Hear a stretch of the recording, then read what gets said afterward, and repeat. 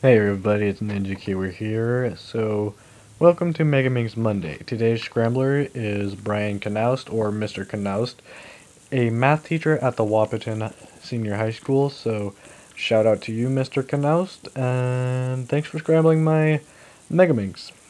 This, um, as I've said previously with the first video, which was a review, the Megaminx is not for speed speed cubing as it does tend to lock up a bit. What am I saying? It locks up a lot. And that happened a lot in this solve, but I sped up the video so it the solve was actually 12 minutes and 10 seconds, but as you see in the video, it is 6 minutes and something seconds. So, uh, yeah. The solve didn't take me that long. I did have to do one swap algorithm. Well, not swap algorithm. It's like a a flip parity, if I if you may. Um, I'm calling it a flip parity because if if I am at the point wherever I have to do right inverted, down inverted, right down to get the last corner pieces, if it switches, if it doesn't have it completely solved, and then just swaps to a another side, that I have to finish up. I call that the um, swap parity. So, hope you enjoyed the video. Um, like I said, I'll do this every week from Monday and send shoutouts to people who scramble my cube. Um, along the way, I'll try to make a Super Square 1 video, but kind of scared of what will happen if I mess up my Super Square 1 because I honestly have no idea how to scramble it properly and I have no idea how to solve it. So, yeah.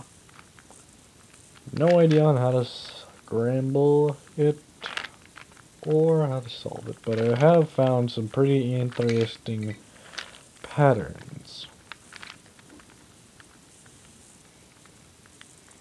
For some reason. Uh,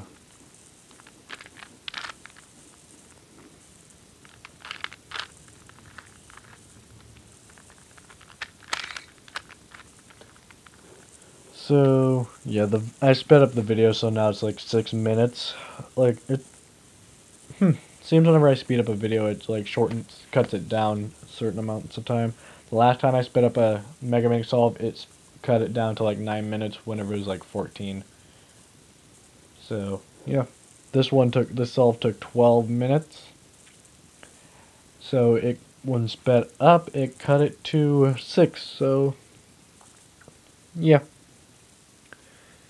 And as you can see right here, during, at this segment of the video, I am near to done. What am I saying? I'm not even, I'm barely done yet. Just got to get the last layer orientation.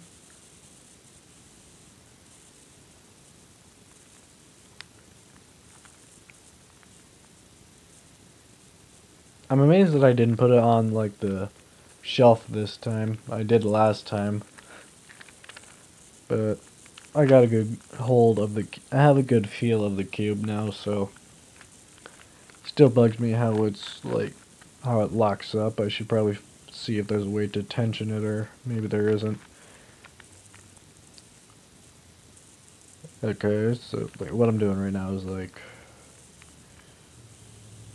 honestly I don't know what I'm do what I'm doing right now. Oh yes, I am doing the like edge pair like the edge placing.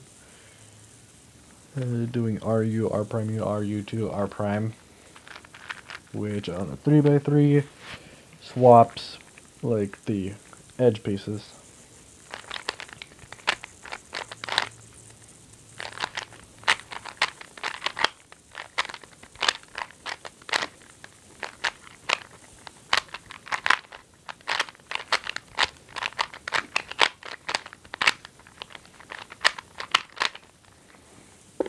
So yeah. Yeah, with um, with the Megaminx, I don't solve it like other people do. I've, as you all know, my 3x3, I've made my own method. So, and now I've made my own method with the Megaminx. So, enjoy the rest of the video, and stay tuned for more videos. You guys rock.